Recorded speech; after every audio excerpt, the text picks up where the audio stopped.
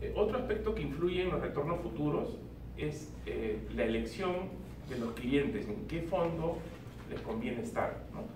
Eh, lo que estamos viendo es que como el default del, del sistema prioridad de pensiones, cuando los jóvenes ingresan al, al sistema prioridad de pensiones, es, eh, se les afilia en el fondo 2 eh, y voluntariamente más adelante o a los días puede elegir cambiarse al, al- fondo 3 o al fondo 1.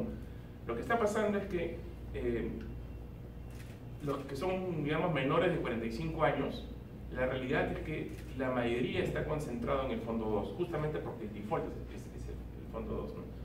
Cuando ya pasamos de 45 a 60, ya comienza a haber un poquito más de, de- de fondo 1, algo del 3, y ya pasado entre 45 y 60. ¿no? Y pasado los 60 sí se ve una mayor concentración del fondo 1.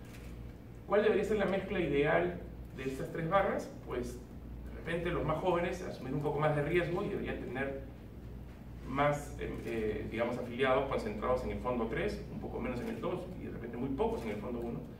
Ya cuando uno está entre los 45 y 60, de repente comienza a reducirse el fondo 3 en proporción y agarra un poco más de proporción el fondo 2 y finalmente, pasados los 60 años, está bien que se esté, se esté dando esto, ¿no? la concentración del fondo 1. ¿no? Entonces, acá también podría haber un cambio regulatorio donde los defaults cambien de acuerdo a la edad.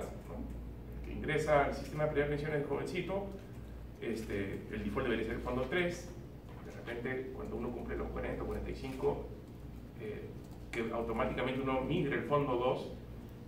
Cuando hablo de default no significa que el cliente no tenga la libertad de elegir el fondo que desee, ¿no? simplemente es la recomendación que da el sistema de cómo ir cambiando de fondo en fondo por, por default y el cliente dirá, no, no quiero cambiar por default, me mantengo en el fondo 3 o me quiero ir al fondo 1. ¿no?